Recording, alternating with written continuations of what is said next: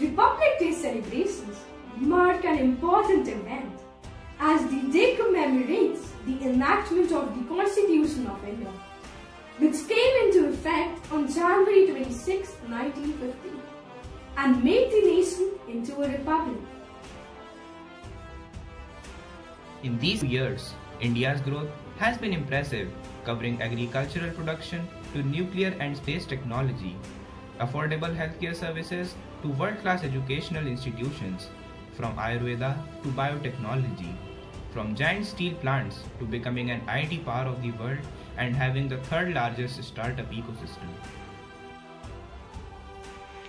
The New India movement envisages India free from corruption, terrorism, casteism, and uncleanliness. It unites the entire country by adopting good governance and technology.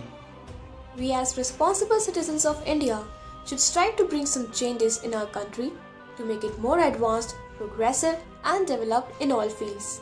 There must be active participation of the educated class and youth in politics. All efforts should ensure that there are no communal riots or disputes. There should be more fast track courts to resolve legal matters quickly and efficiently. There should be complete abolition of child labor and child abuse.